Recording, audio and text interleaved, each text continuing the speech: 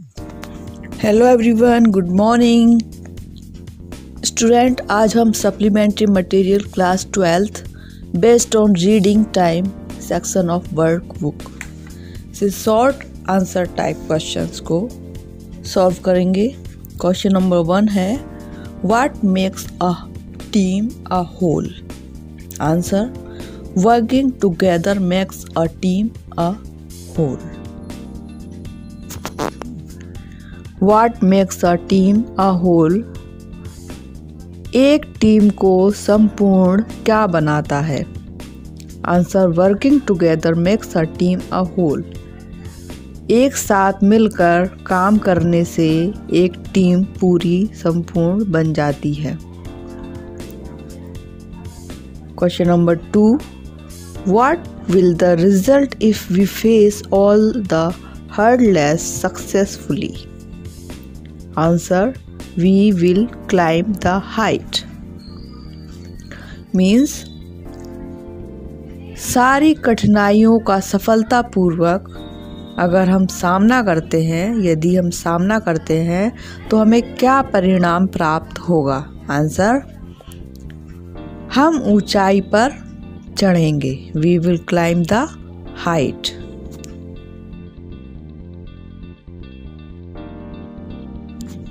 question number three which is the world's highest waterfall and where is it विश्व का सबसे ऊँचा waterfall या जल प्रपात कौन सा है और वह कहाँ स्थित है?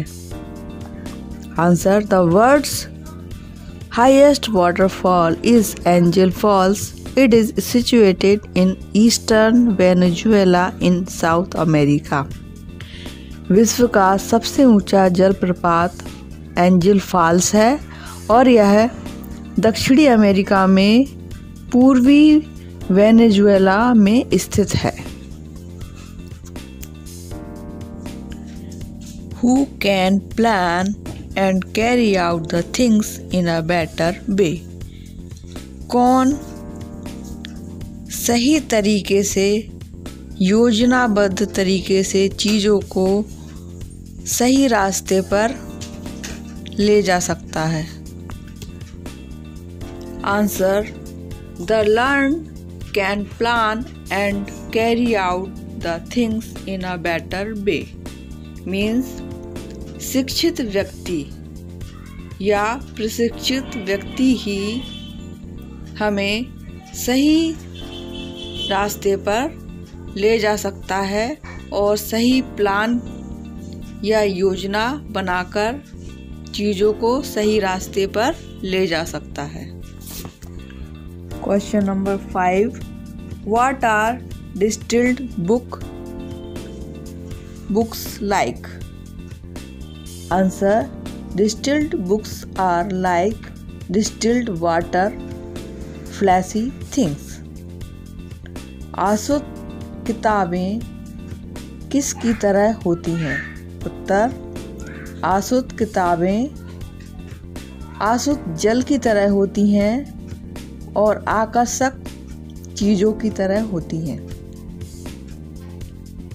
Question number six what do people to for their harvest लोग अपनी फ़सल के लिए क्या करते हैं? Answer they dance for their harvest वे अपनी फ़सल के लिए नृत्य करते हैं। Question number seven what accounts for beauty in your self आपकी सुंदरता का हिसाब क्या है?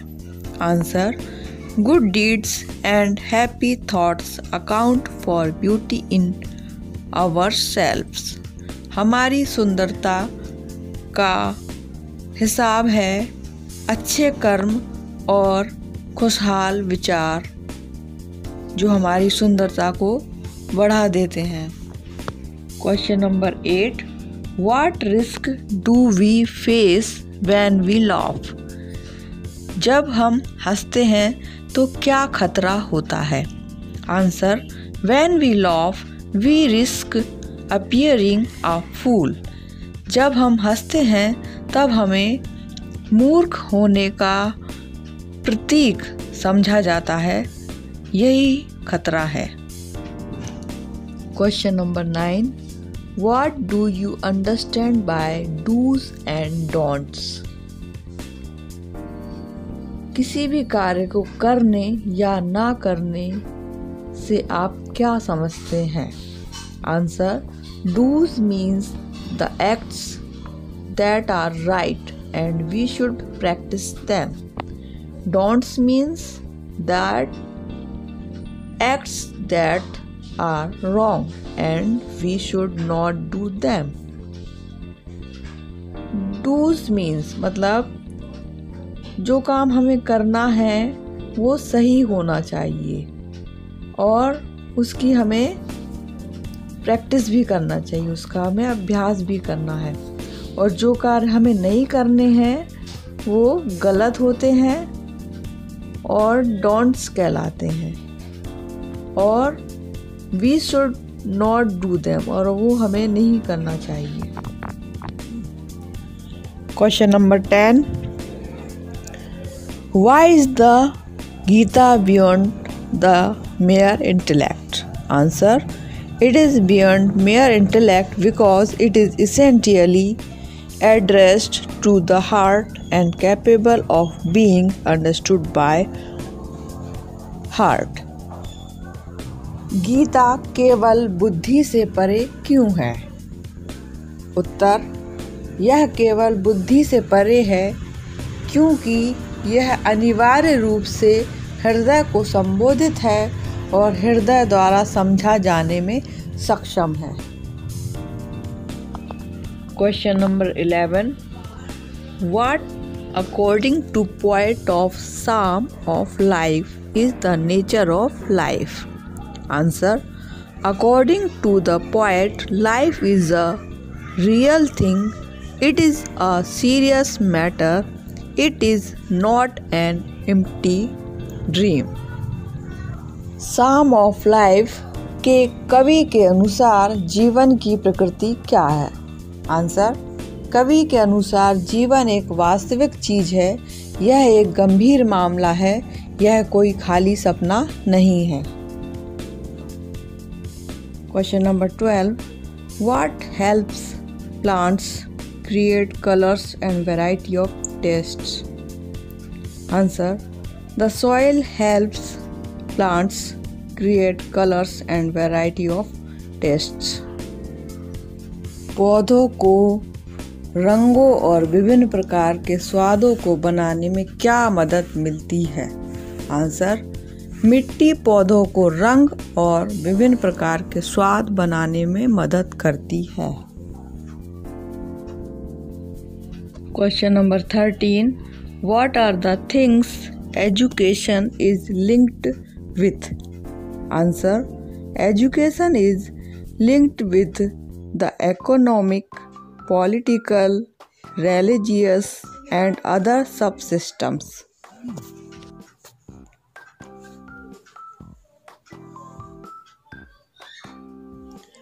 शिक्षा किन चीज़ों से जुड़ी हुई है? आंसर, शिक्षा से जुड़ी हुई है आर्थिक, राजनीतिक, धार्मिक और उपनिकाय, जो कि शिक्षा से जुड़े हुए हैं। Question number fourteen what is the saying about values answer the saying is values can not be bought they are caught मूल्यों के बारे में क्या कहा जाता है? आंसर मूल्यों के बारे में कहा जाता है कि इसे खरीदा नहीं जा सकता, इसे केवल पकड़ा जा सकता है मतलब कैच किया जा सकता है या समझा जा सकता है question number fifteen how does a cloud feel when it travels in the sky Answer, The cloud feels a quietness. एक बादल आकाश में जब उड़ता है या यात्रा करता है तो कैसा महसूस करता है? आंसर, एक बादल आसमान में जब यात्रा करता है तो शांत महसूस करता है, शांति महसूस करता है। Question number sixteen how much does the heart work in a day answer when beating at the moderate rate of 72 pulses per minute the heart is working only 9 hours out of 24 hours. हृदय एक दिन में कितना कार्य करता है? Answer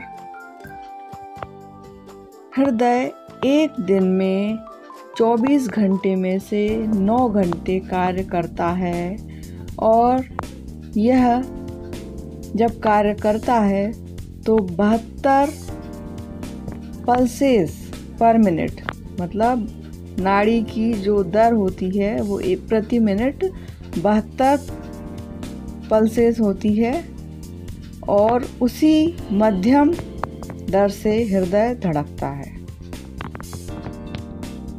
question number seventeen When does the heart get rest? How much rest does take in a day?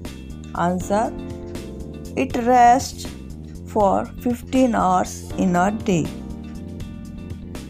हृदय को आराम कब प्राप्त होता है और हृदय एक दिन में कितना आराम करता है यह एक दिन में पंद्रह घंटे आराम करता है question number eighteen how can you say that nature's bounty is boundless answer we can say this because there are millions of things that nature has given आप कैसे कह सकते हैं कि प्रकृति का इनाम असीम है?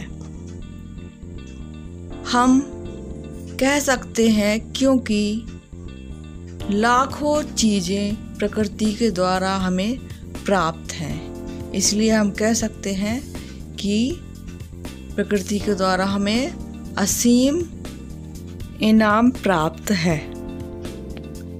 Question number nineteen how can words move quickly और slowly Answer A talkative man's words move quickly, an ignorant and simple person's word move slowly. शब्द कैसे तेज़ी से और धीरे से चलते हैं आंसर बातूनी व्यक्ति के शब्द बहुत तेज़ी से चलते हैं और अज्ञान और सरल पर्सन सिंपल पर्सन के शब्द बहुत धीरे धीरे चलते हैं।